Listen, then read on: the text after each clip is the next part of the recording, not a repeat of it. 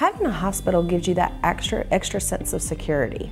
Having that extra sense of security just gives you the things that you're gonna need in, a, in an environment to where if she wanted to get in the shower, or if she wanted to get in the tub, or if she needs to be in a different position by using a squat bar. We have mirrors, so if she does want to watch the birth of her baby, she is able to view that as well. So just having the hospital setting does give her that sense of security that she wouldn't have um, outside.